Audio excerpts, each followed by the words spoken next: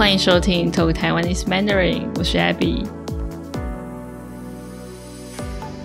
两个礼拜没见了，希望大家都过得很好。不知道大家有没有想念我的节目？这段时间虽然没有录音，但也是在忙一些别的事情，然后也开始去上一些课程，去学一些我想学很久的东西。那我也很高兴，我决定先休息两个礼拜。有一句话叫做“休息是为了走更长的路”，这句话虽然有一点老，有一点老套，不过，不过我觉得不管在做什么事情，不管你是在读书、在工作，或是做任何一项东西，该休息的时候，真的要好好的休息。因为两个礼拜没有录音，然后在忙别的事情，同时我也得到很多灵感，得到很多点子，想到很多主题想要跟大家分享的。之前有一个朋友跟我说，因为我很容易压力大，很容易很焦虑，他就跟我说啊，你在压力这么大的状态是没有办法有创意的。例如说，我想要写一些东西，我想要做一些东西，反而。做不出来，写不出来，想不到什么好的点子，那他就说：“好好的去放松，你才有办法发挥你的创意。”我自己很同意，因为当我在放松，不管是在散步，或是放松做一些想做的事情，我反而就会得到很多灵感、很多想法。好，就只是跟大家闲聊一下。那今天我想要跟大家聊的主题是台语。其实我很惊讶，我收到很多听众都想要听我分享台语的话题，或是问我一些台语的事情，这让我很惊讶。没想到这么多外国朋友对台语有兴趣，那我也很开心，所以特别做这一集来跟大家分享，回答大家的问题。好，那有一位听众朋友问我说。年轻人会不会说台语？如果外国人来到台湾，他需不需要学一些台语的词？那这个是一个很好的问题。之前我有做一集在讲母语日，那一集有大概提到一些台语。那我今天再跟大家分享多一点，就是年轻人会不会说台语？这个其实要看地区，像我是北部人。那台北就很多人不会说台语，大部分的年轻人是不会说台语的。那我自己的话，我的爸妈是说台语的，跟小孩子说话的话，就会台语跟华语混在一起，所以 我们讲话就是台语跟华语混在一起。那我的台语听力是蛮好的，大部分的台语我都听得懂。可是说的话，因为平常没有什么机会说，所以说的不太好，不太流利。那这个是台北北部的情况。如果是在中南部的话，中部跟南部的话，你可以发现，你可以发现很多人会说台语。像我目前住在南部的一个城市，我最近搬到南部的一个城市生活，就可以发现很多人都在说台语。也包括年轻人。那我认识一些朋友，我有问他们说：“哎，你们在家里都会说台语吗？”他们说：“对。”所以要看你在哪里。那关于台语这个语言，可以讲的事情很多，那一集可能也讲不完。我也不是台语的专家，所以这集主要就是就我自己的经验，我所知道的，跟大家分享。那刚刚说到，越来越多人不会讲台语，越来越多年轻人不会讲台语。像我这个年代，不会讲台语的人已经很多了。那在更年轻的小孩，可能就更少人会讲了。所以说，这面临到一个很严重的问题：越来越少人会讲这个语言，也就代表它其实正在慢慢的消失。这个文化，这个语言，如果没有好好的去推广，没有好好的去保护的话，它其实是在慢慢的消失掉的。所以现在就有很多台湾人努力的在推广台语，希望可以让更多人来学习台语，然后找回我们自己的文化，不要让它流失掉。我这边先大概跟大家讲一下一些历史背景好了，所以你们可能会对台语有更多的了解。那在以前，就是国民党政府从中国来台湾之前，和日本人来台湾之前。那个时候，台语是台湾主要的语言，大部分的人都是讲台语。当然，还有其他文化背景的人，像是原住民，还有客家人。不过，主要的语言就是台语。后来日本人来台湾殖民后，就教大家讲日文，所以那个时候主要的语言就是日文跟台语。后来，国民政府从中国来台湾之后，就禁止大家讲日文，也禁止大家讲台语，要讲华语或是国语。所以那个年代的人，那个年代的小孩，在学校是被禁止讲台语的。如果你讲台语，会被老师处罚。那因为被禁止、被处罚，就会变成说讲台语好像是一件丢脸的事情，会被笑，也让大家渐渐的不去讲这个语言。所以台语这个语言其实长期以来是被压迫的。那这是一件很悲伤的事情，因为有不同的殖民者、不同的政府。来台湾，变成我们流失掉自己的文化、自己的语言。那后来台湾民主化，变得民主跟自由，大家才能开始去找回自己的文化，找回自己的语言。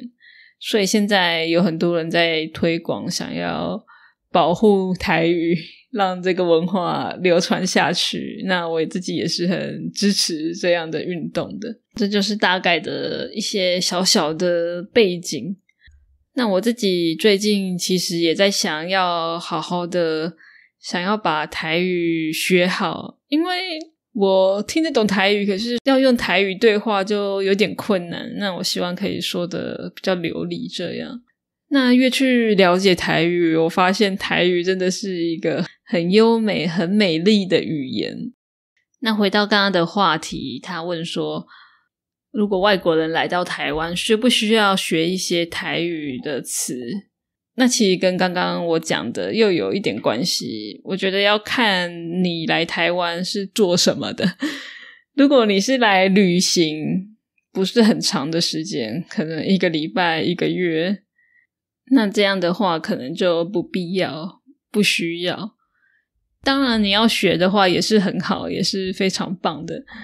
但是学台语是需要时间的，它不是一个很简单的语言。如果你问我需不需要的话，就是不一定，看你自己。好，那这个是如果你是来旅行的话，如果你是来生活的话，那也要看你住在哪里。如果你住在台北的话，那我可以说不用，因为台北人自己都不会讲台语了。可是，如果你是住在中南部的话，特别是南部的话，那我觉得你可以考虑学一下。我也不会说你一定要学，为什么呢？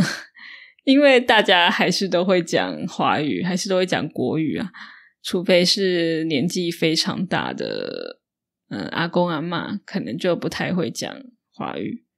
可是年轻人一定都会讲华语。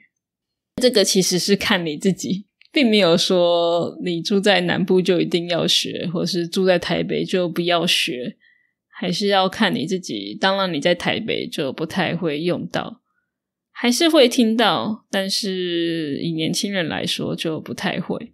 那在南部的话，我觉得如果你想要在台湾生活很长一段时间，或是你想要在台湾定居，就是住下来。永远住在这里，或是住非常长的时间，特别是在南部的话，而且你又很想要去了解台湾的文化，想要跟不同的人对话，那学台语真的蛮有帮助的。怎么说呢？嗯，因为光是你会讲华语，我们就觉得诶很不错。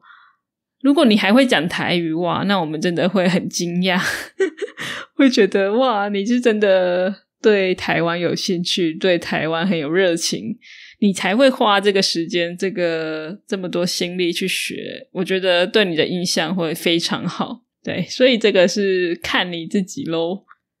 那我觉得，就算你没有要学台语，但是你很想要跟更多在地人，特别是可能年纪比较大的在地人聊天的话，如果你会几个台语的词，也可以让大家对你的印象很好，很有亲切感。例如说，最简单的打招呼，你好，台语就是“你好”，“你好”。我的发音可能没有到很标准，不过大家听得懂。或是早安，台语是老炸。对，这两个这最基本的，还有一个也很常见的，就是假爸喂，假爸喂，就是吃饱了吗？对，在台湾最常打招呼的一句话是假爸喂，吃饱了吗？大家反而不会说你好，会问你吃饱了没。所以你会这三个，你好、老炸、假爸喂，你可以讲这三个台语的词，其实就会让台湾人很爱你了，因为听起来就是很亲切。如果大家真的对台语很有兴趣，想要我教你们一些词的话，也可以在下面留言给我，跟我说。那也许之后我可以做一集来教大家一些常见的台语的词。那我再回答另外一位听众的问题，他问说：对于住在台湾的外国人，有没有什么建议可以更尊重台湾的文化，当台湾新住民可以做得更好？哇，这个问题是一个很认真的问题。其实光是你问这个问题，我就觉得你很棒了。因为你住在台湾，还会想要怎么说？去尊重台湾的文化，然后希望可以做得更好。那你真的让我觉得很棒，很感动。好，那我来认真，身为一个台湾人来回答一下这个问题。不过这个只是我自己的立场，并不代表所有台湾人。当然，我不知道其他人怎么想。但是就我自己来说，第一个，我觉得。会去讲我们的语言，那当然，台湾现在共同的语言是华语。我想大家都知道，中文不是一个很好学的语言，对于外国人来说，它是一个很有挑战的语言。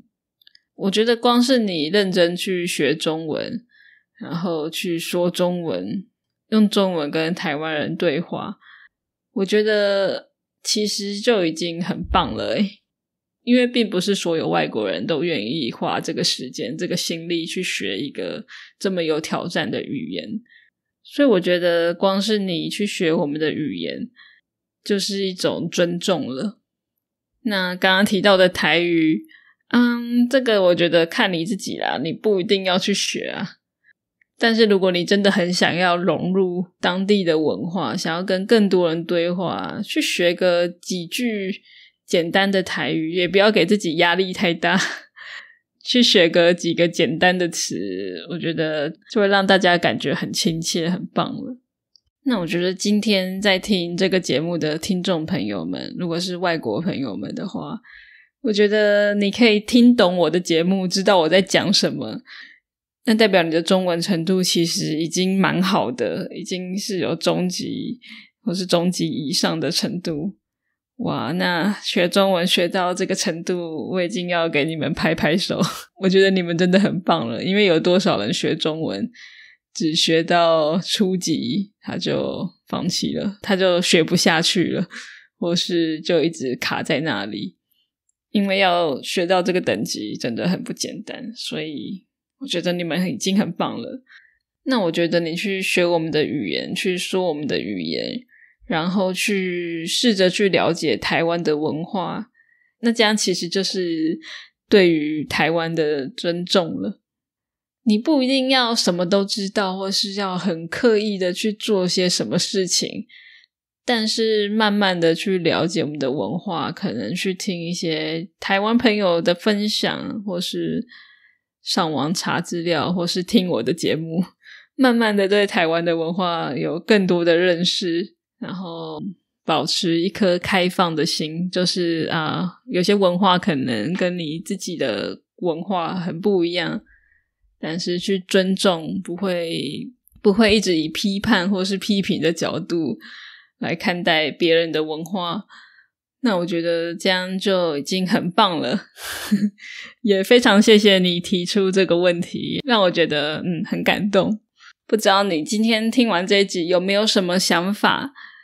如果你想要听我讲更多关于台语的事情，或是你有什么想法想要跟我分享的话，都欢迎你。留言告诉我，你可以在我的 Patreon 的 post 下面留言，或是可以到我的 YouTube channel，在这一集的影片下面留言告诉我。那最后我要来回馈一位听众在 Apple Podcast 上面给我的评论，这位是来自美国的 Feels Good Man，他说中文学习的资源有很多。但非常少是专门做台湾华语的，又更少资源是针对中级程度的学习者，还有嗯一些有华人背景的学习者。这个真的是一个很棒的 podcast，可以让你的中文更进步，学习更多词汇。非常谢谢 Feels，感谢你的评论。如果大家喜欢我的节目，欢迎到 Apple Podcast 给我留下 five star 五颗星的评论，这对我来说是一个很棒的 feedback。那如果你想要给我支持，希望可以帮助我制作更多节目的话，欢迎加入我的 Patreon，在上面你也可以下载到每一集的 transcript study sheet。或是你可以到我的网站 talk taiwanese mandarin dot com 去请我喝杯咖啡，帮助我继续做更多节目。非常谢谢你的收听，也欢迎大家去追踪我的 IG、YouTube channel，订阅我的 newsletter。我们下次见喽，拜拜。